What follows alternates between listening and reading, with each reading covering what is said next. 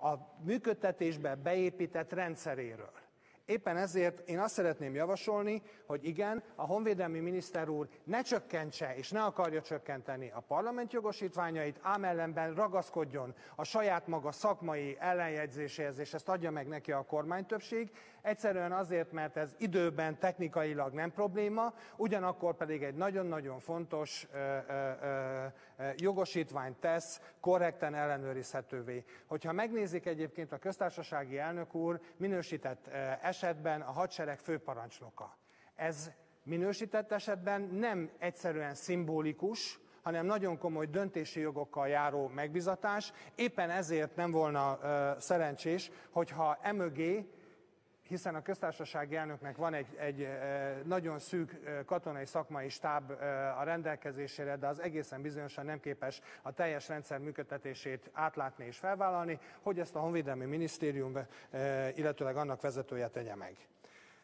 Elnök úr, tisztelt képviselőtársaim, én azt látom itt a mostani vitában, hogy van egy alapvető félreértés a tekintetben, hogy a közmunka programmal kapcsolatos ö, ö, honvédségi részvételt ki hogyan ítéli meg.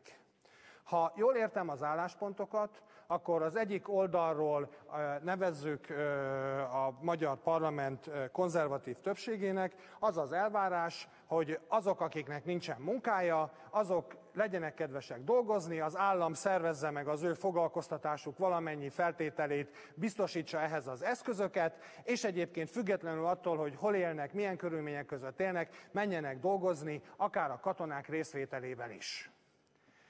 Az én személyes álláspontom és nagyon sokunk álláspontja nem valami e, őrült álláspont, hanem egyszerűen a magyar honvédség békeidőben történő belföldi felhasználásának védelméről szól. Apró lépésekkel haladunk, tisztelt képviselőtársaim, a katonai típusú Felhasználás, mert hogy egy veszélyhelyzetben elmegy a katona és gátat erősít, árvízben mentesít, és egyébként iszapömléskor meg részt vesz, ez teljesen természetes. Békeidőről beszélek. Békeidőben nem lehet sem rendészeti, sem más típusú feladatot adni, mert ez a hatalmi ágak és a különböző szervezetek összekeveredését jelenti. Vajon miért nincsen benne a rendőrség feladataiba az, hogy működjön közre ebbe? Miért nem kerül az oda? Egy mást mondok. A megyei közgyűlési elnököket kiveszik, mint a Megyei Védelmi Bizottság vezetője abból a pozícióból ebben a törvényben, miközben a most párhuzamosan futó polgárvédelmi törvényben meg benne hagyják.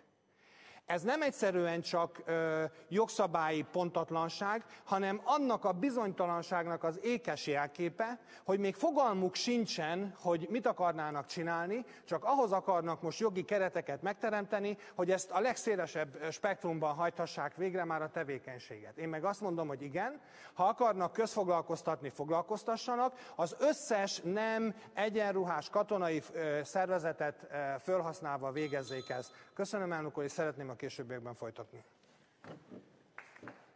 Köszönöm szépen, képviselő úr. Meg szeretném kérdezni Volner János képviselő urat, hogy rendes felszólalásra adjak szót, vagy két percesre, mert mind a kettő helyen előáll. áll.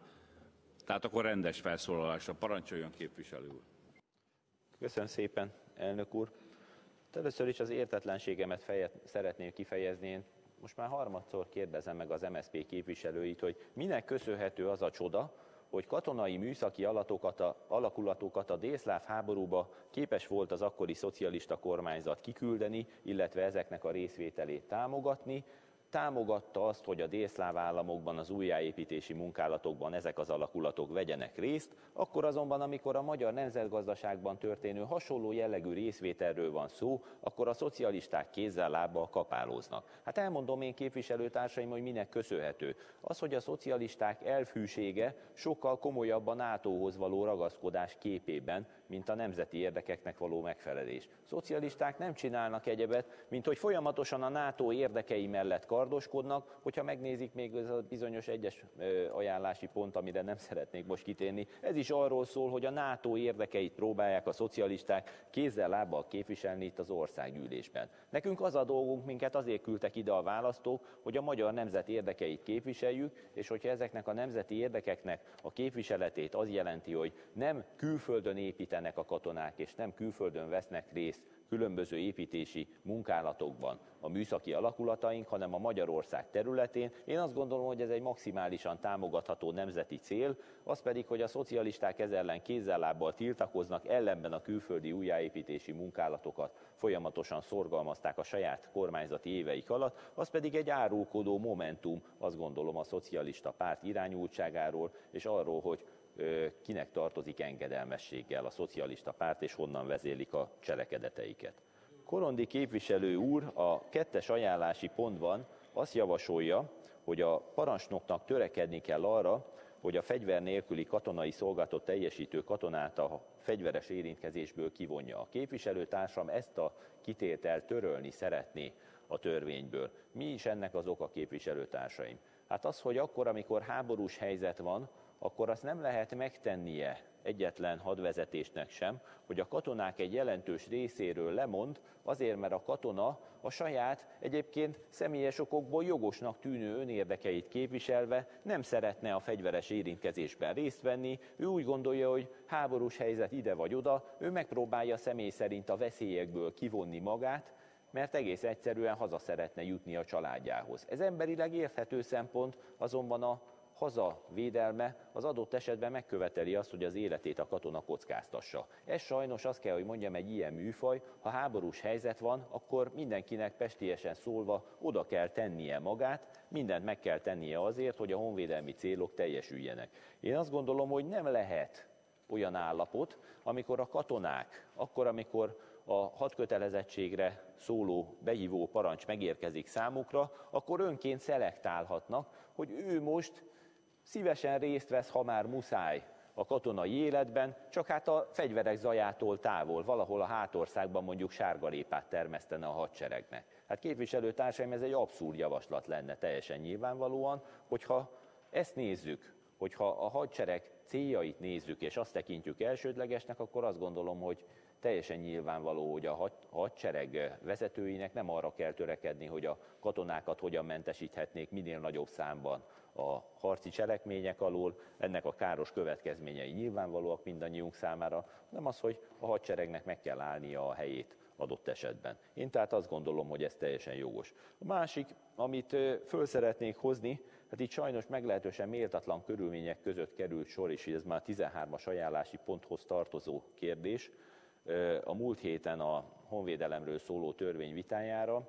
Ugye emlékeztetnék arra 9-10 óra fele az esti órákban messze-messze a tévé műsoridőn kívül kerül sor egy ilyen rendkívül fontos terület tárgyalására.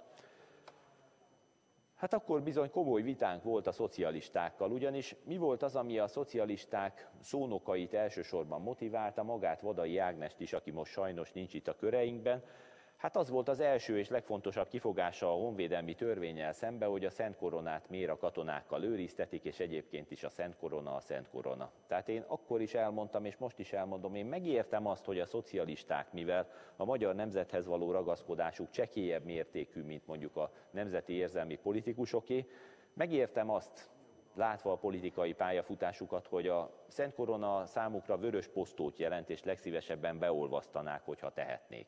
Én azonban azt gondolom, hogy ez a támadás, ennek az iránya, a fő hangsúly a szocialisták szónoklataiban, én azt gondolom, hogy szerencséjükre műsoridőn kívül esett, megint csak árulkodó jel arról, hogy a szocialista párt nemzethez való ragaszkodása milyen mértékű, milyen irányú. Én azt gondolom, hogy a lehető legtermészetesebb az, hogyha a kormány visszatér a nemzeti hagyományokhoz, visszatér ahhoz, hogy a magyar hadsereg adott esetben külön alakulata őrizze a koronát, megadja neki azt a tiszteletre méltó környezetet, amelyet a korona megérdemel, és ilyen körülmények között a külföldi és a hazai turista csoportok megtehetik itt a tiszteletüket a korona előtt. Én azt gondolom, hogy ez egy maximálisan támogatható cél, az pedig, hogy a szocialistáknak mi a baja ezzel, igazándiból még ők sem tudják megmondani. Köszönöm szépen! Köszönöm szépen, képviselő úr. Most Simicskó István államtitkár úrnak adok felszólalásra lehetőséget. Parancsoljon államtitkár úr. Köszönöm szépen a szót, tisztelt elnök úr, tisztelt országgyűlés, tisztelt képviselőtársaim. Két fontos területre szeretnék reagálni, amit itt képviselőtársaim fölhoztak a módosító javaslataikkal, és a véleményüket is kifejtették erről, csak hogy azért a vita talán előrébb halad, talán a megegyezés felé is, hogyha ezt a két tételt lezárnánk. Bízom ebben, hogy az én indokolásomat is megértik és elfogadják. Egyrészt a GDP arányos védelmi költségvetés mértékét rögzíteni akaró módosító javaslat. Ugye Juhász képviselő úr beszélt erről és ennek a fontosságáról. Én azt hiszem, hogy ez kellő mértékű garancia, hogyha a költségvetési hiány mértékét az alkotmányban rögzítjük. Általánosan valamennyi ágazatra nézve, viszont nem hiszem, hogy ha szerencsés lenne, hogyha ágazatonként is rögzítenénk, hiszen ez megkötni a mindenkori kormányzat mozgásterét, sarkatos törvényeket és alkotmányt nem lehet minden nap módosítani, legalábbis nem szerencsés. Én azt hiszem, hogy, hogy azzal, hogy törekszünk arra, így el, szívesen költenénk mi többet is a honvédelemre, ha lenne, ha az ország nem ilyen gazdasági helyzetben lenne, mint amilyenben van. Hozzáteszem, hogy ha ilyen szándék van, kár, hogy ez most jutott önöknek eszébe, hiszen 2004 óta a 2004 évi 105-ös honvédelmi törvény az önidőszakokban került elfogadásra, amelyet valóban nagyon nagy többséggel elfogadott a magyar parlament, akkor is meg lehetett volna ezt tenni. Mi biztos, hogy partnerek lettünk volna ebben, akkor még nem volt ilyen rossz gazdasági helyzetben az ország, hogyha rögzítették volna az akkori honvédelmi törvényben, hogy bizony-bizony, akkor a védelmi költségvetés az legyen 1,1 vagy 1,5 vagy 1,8 százalék. Ez nem történt meg. Most ezt rajtunk számon kérni egy ilyen rossz örökséget hátrahagyva szerintem nem feltétlenül korrekt. A másik a közfoglalkoztatás kérdésköre. Én azt hiszem, hogy ez egy fontos kérdés. Látom, hogy a módosító javaslatok is döntően erre vonatkoznak, és valóban a régi gondolataink mentén nehéz ezt megérteni, ezt elfogadom, de, és azt mondta Juhász Ferenc képviselő úr, hogy a magyar katonák veszélyhelyzetben persze jó, hogyha megy és menti a hazát, én azt mondom, és azt mondom, hogy békeidőszakban viszont nem jó, hogyha ez megtörténik. Én azt hiszem, hogy mindig dolga a magyar katonának a hazát védeni, és hogy most békeidőszakban élünk-e, vagy pedig sem, eh, ez megint egy érdekes kérdés. Én azt hiszem, hogy ha úgy tekintünk rá, hogy igazából eh, van-e katonai fenyegetettség, vagy pedig nincs, akkor azt mondhatjuk, hogy valóban minimális a katonai fenyegetettség, NATO tagok vagyunk, de gazdasági, pénzügyi értelemben nincsen békeidőszak bizony-bizony veszélyhelyzet van. Veszélyhelyzetben van az ország, óriási adósság halmozódott föl, ezt nekünk törlesztenünk kell. Ebben az adósság törlesztésben a foglalkoztatás, a termelőkapacitás kialakítása kulcsfontosságú. És mindenkinek, minden állami intézménynek, minden magyar embernek ebben bizony-bizony részt kell vállalnia. Ez sajnos így alakult, döntően önöknek köszönhetően így alakult. Ezért aztán bizony-bizony a Magyar Honvédségnek is van ebben szerepe. Úgyhogy, ha tetszik, akkor tekintsünk úgy erre, hogy új időszámítás kezdődik ezen a területen is. Egyébként pedig a tartalékos rendszer, amit elkezdtünk kiépíteni nagy erőkkel, ők is civil munkavállalók, sőt a Magyar Honvédség állományát is a munkaerőpiacról kell 2004 óta megszerezni, hiszen megszűnt a sorkatonai szolgálat, a szerződéses állományt is a munkaerőpiacról kell megszerezni. Tehát bizony-bizony ebben a feladatban, a közfoglalkoztatásban a Magyar Honvédségnek is van tennivalója és ebben kérjük természetesen az önök segítő közreműködését is. Köszönöm szépen. Köszönöm szépen. Államtitkár úr, két perces hozzászólásra Burán Sándor képviselő úrnak adok szót. Parancsoljon képviselő úr. Köszönöm a szót, elnök úr. Tisztelt ház, tisztelt államtitkár úr. Nem állom meg, hogy mondani valójának egy részéhez ne szóljak hozzá, és egyúttal ne intézek önhöz egy kérdést. Azt mondta, hogy gazdasági téren bizony nem beszélhetünk békeidőről, és bár nem így mondta szó szerint, de tartalmilag megismételte a miniszterelnök úr szavait, hogy legnagyobb ellenségünk az államadóság, és harcolni kell érte. Ha és amennyiben ez igaz, akkor kérem tisztelettel, ellene igen. Kérem tisztelettel magyarázza azt meg, nem véletlenül mondtam az előbb, illetve az, hogy érte. Miért van az, hogy A tegnapi publikált adatok szerint a magyar államadóság még soha nem volt ilyen magas az utóbbi években. Elérte a 21 ezer milliárd forintot.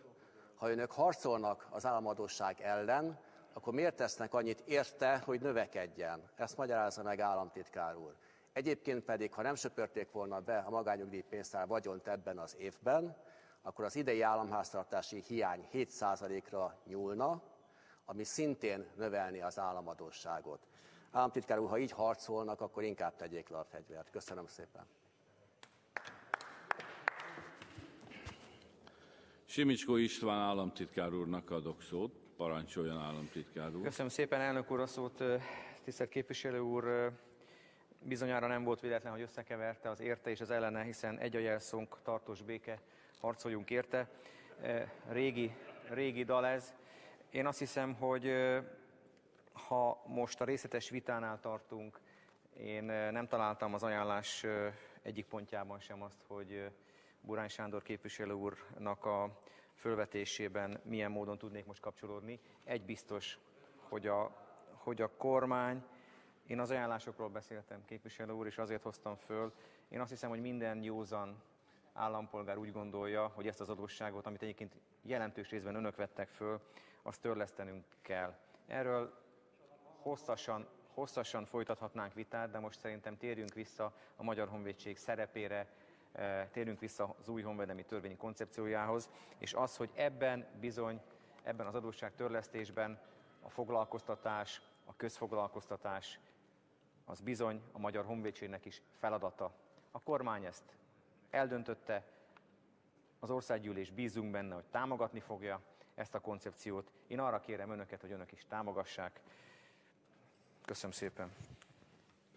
Köszönöm szépen. Juhász Ferenc képviselő úr következik rendes felszólalásra. Elnök úr, én a hatos és később majd a kilenceshez szeretnék hozzászólni. Mielőtt képviselőtársaim itt a mókusok elé vetnének engem eh, elvetemült nézeteim miatt, engedjék meg, hogy eh, emlékeztessem önöket arra, hogy a múltrendszerben, amit önök oly sokan bírálnak eh, okkal, joggal, a Magyar Honvédséget nem egyszerűen csak őszi betakarítási munkálaton, nem egyszerűen csak ö, árvizek idején, hanem adott esetben karhatalmi szerepben is lehetett ö, felhasználni békeidőben. Az akkori parlament óriási nagy vitával végül is úgy döntött, valamennyi demokratikus párt egyetértésével, hogy nem kellene hagyni, mert hogy az egy kicsit balkáni, mert hogy az egy kicsit múlva tekintő, hogyha a Magyar Honvédség békeidőben e, belföldi felhasználásra kerülhet. Egyszerűen azért, mert a jogi garanciális feltételek nem teljesen kidolgozottak, a tekintetben, hogy a belföldi felhasználás során, lásd közmunkaprogram szervezés és más, mit végezhet és mit nem végezhet. Gyakorlatilag a történetet azért találták ki, hogy soha semmilyen formában ne lehessen a demokratikus jogrend ellen felhasználni a magyar honvédséget. Én nem gondolom, hogy a közmunkaprogram szervezésében való részvétel a jogrend elleni fellépéssel lenne egyenlő. Ki is kérném, hogyha ezt feltételeznék.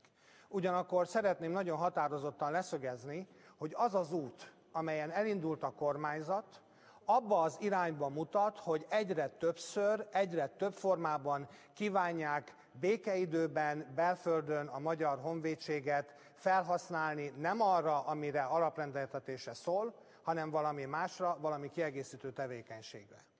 Önök azt mondják sokan, hogy átláthatatlan a költségvetés, és hát le kellene válogatni itt a, a védelmi tárca költségvetésében mi az, ami egészségügy, mi az, ami szociálpolitika. Tisztelettel kérdezem, hogy nincs ellentmondásba a közmunkaprogram szervezésének honvédelmi finanszírozásban történő munkálata, és az a fajta igény, hogy egyébként tiszta védelmi költségvetésünk legyen. Hát dehogy nem.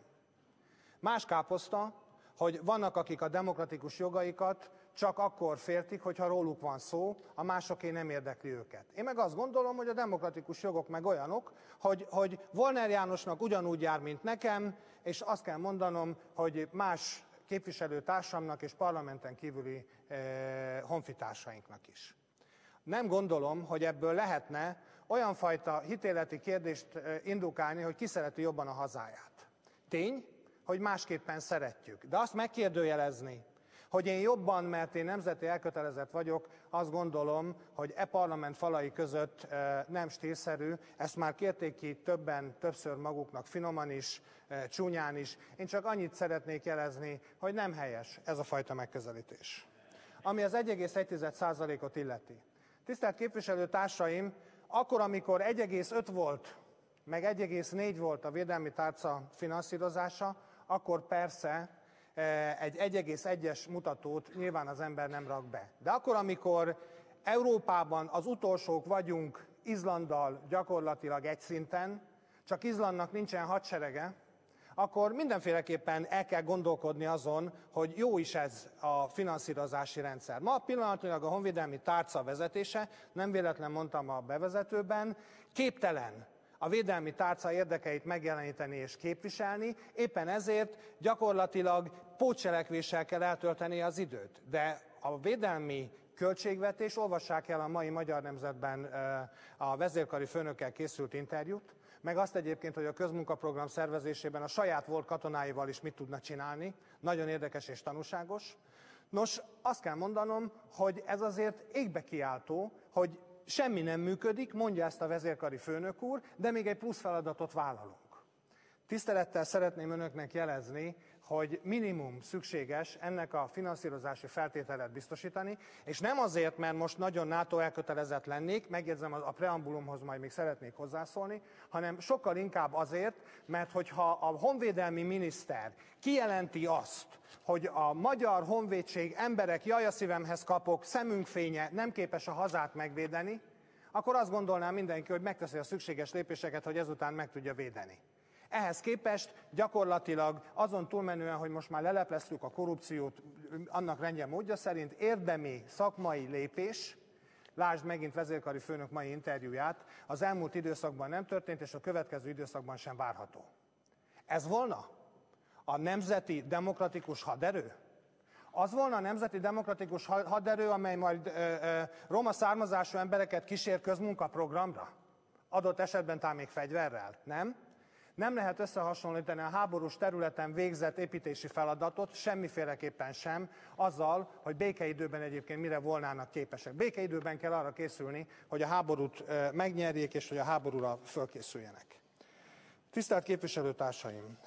A törvényjavaslatnak van egy olyan pontja, amely a honvédelmi nevelésben való részvételre vonatkozik, amit azért szeretném az önök figyelmébe ajánlani, mert teljesen természetesen eh, nem arról van szó, hogy a tárcának kell végeznie, de arról biztosan, hogy a tárcának kell segítenie, a tekintetben is, hogy pillanatokon belül létrehozzák a Nemzeti Közszolgálati Egyetemet. A Nemzeti Közszolgálati Egyetemnek, az ott lévő rendőröknek és másoknak, ha nem teszik, egy fél pillanat elnök, és nem kérek két percet, eh, ha nem teszik feladatává azt, hogy részt vegyenek, felkészüljenek egyébként erre a feladatra, akkor szerintem hibát vétenek.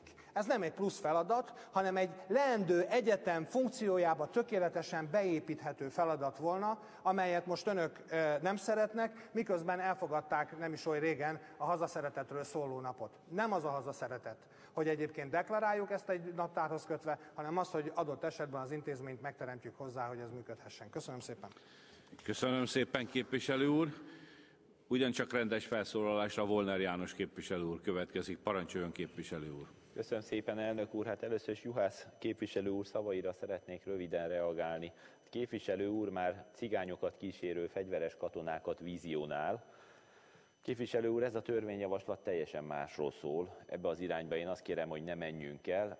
Ez lehet, hogy majd az ATV esti híradójában, vagy valamilyen beszélgetés ATV műsorban jól mutatnak ezek a gondolatok, hogy a kormány ilyen törekvésekkel van, hogy cigányokat majd katonák fognak géppisztolyjal a kezükben kísérgetni. Ez vicc. Tehát ezt, azt kérem, hogy ne próbáljuk hiszterizálni a közvéleményt ilyesmivel. Csak azért, hogy megőrizzük a helyzet komolyságát. Képviselő úr, visszatérünk itt a hatos ajánlási pontra, erre a bizonyos 1,1%-ra. Megengedi, én fölvetnék egy másik gondolatot ezzel kapcsolatban, hogy milyen irányba lett volna célszerű módosítani, hogyha már a honvédség és a költségvetés kapcsolatát vizsgáljuk. Én itt javasoltam az általános vitában, ami valamikor fél tízkor hangzott el ez a hozzászólás az esti órákban azt, hogy az eddigi egyéves költségvetési gazdálkodás helyett célszerű volna nem csak a honvédelmi tárcánál, hanem az egész magyar gazdaságnál áttérni a programalapú költségvetési tervezésre. Akkor, amikor a gazdasági bizottság ülésén ez a kérdés felvetődött, fölvetettem a költségvetési tanács akkori elnökének, amit időközben már ugye a kormányzat megszüntetett, Kopis György úrnak azt, hogy milyen véleménnyel van ő a program alapú költségvetésről. Ez ugyanis azt jelenteni, hogy elindul egy több éves program, ehhez több évre előre fogadjuk el a források hozzárendelését, ez aztán a program végrehajtását elejétől a végéig biztosítja, és mivel megfelelő indikátorokkal, mutatószámokkal monitorozzuk folyamatosan a program működését, ezért, hogyha a jövőben egy hasonló jellegű program elindítását tervezzük, akkor már olyan több éves tapasztalat áll a programot elindító állami szerv vezetőinek a részére, amely megalapozott döntéshez segít hozzá. Ezzel szemben jelenleg még egy meglehetősen konzervatív és meglehetősen rosszul működő, hektikus, egyéves költségvetési tervezésben gondolkodunk. Miért is lenne ez különösen fontos? Ezt el is mondtam az általános vitában, most ismét megteszem, némileg kibővítve. Ha belegondolnak képviselőtársaim abba, hogy egy haditechnikai platform élettartama általában 30-35 év, ennyi idő alatt cserélnek le egy páncélozott járművet, egy repülőgépet, stb. 10-15 évenként van egy elektronikai és fegyverzett korszerűsítés. Nyilvánvaló, hogy ezek az időtartamok jóval túlmutatnak az eddigi költségvetés egy évre szabott keretein. Nyilvánvaló az, hogy ennek a programnak a végrehajtását hosszú éveken keresztül biztosítani kell. Egészen konkrét példát felhozva, hogyha most megnézzük azt, hogy Magyarország miért vásárolta meg a Gripen vadászgépeket, az volt az egyik legfontosabb szempont, hogy ezeknek a gépeknek olcsó az üzemeltetése. De mivel a hagyományos egyéves költségvetési tervezés valósult meg a Gripen gépek rendszerbeállításától fogva egészen mostanáig, és a kormányzati tervek szerint ez így marad a jövőben is, nem fog egyéb történni, mint ami jelenleg. Megvásároltunk egy olcsó üzemeltetésű gépet, de mivel a tartós üzemeltetésére, arra, hogy a repülési órák elérjék a szerződéses mennyiséget, nincs lehetőség, mert kifogyott az erre szánt költségvetési keret a honvédelmi tárcánál, ezért egész egyszerűen azt a gazdaságossági előnyt, amely egy korszerű, ám drága, magas beszerzési áru vadászgép üzemeltetése jelenthetne, a magyar állam nem tudja kihasználni.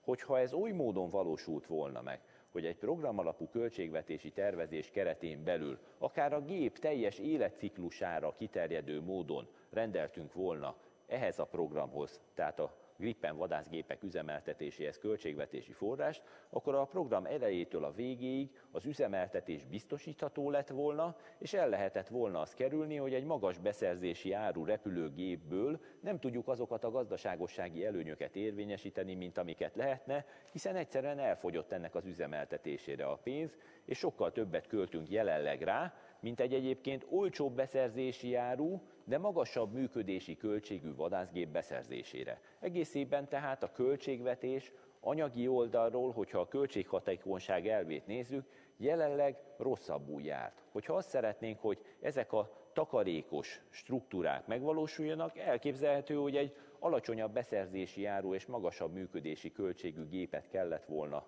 ehelyett választani, és akkor a költségvetés jobban jár. Tehát a program alapú költségvetési filozófiának ez lett volna az értelme és a lényege. Akkor az a maradvány összeg, amivel a tárca adott esetben gazdálkodik, itt aztán ezt megszabhatjuk természetesen a GDP arányában, a szabadon felhasználható más célra, egy azonban biztos, hogy olyan nem lehetne, mint jelenleg az egyéves költségvetési gazdálkodás keretein belül, hogy elindítunk egy programot, ami hosszú évekre szól, aztán időközben kiderül, hogy ennek a programnak a végrehajtására nincs pénz, mert mondjuk divatból szövetségesi kötelezettségének eleget téve, vagy bármilyen másokból a kormány más célokra, más programokra fordítja az eredetileg erre szánt összegeket. Én tehát azt javaslom, hogy ezeket a gondolatokat a kormányzat tegye megfontolástárgyává, és lehetőség szerint épüljön be a költségvetési tervezési filozófiájába. Köszönöm szépen! Köszönöm szépen, képviselő úr. Mivel több felszólaló nem jelentkezett, a részletes vita e szakaszát lezárom. Most megnyitom a részletes vita második szakaszát az ajánlás első pontjára. Ö, elsőnek Juhász Ferenc képviselő úrnak adok szót. Parancsoljon képviselő úr. Szépen köszönöm elnök úr a szót. Tisztelt képviselőtársaim, ígérem, nem élek most már vissza türelmükkel, hogy eddig megtiszteltek vele. Mondandómat alapvetően államtitkár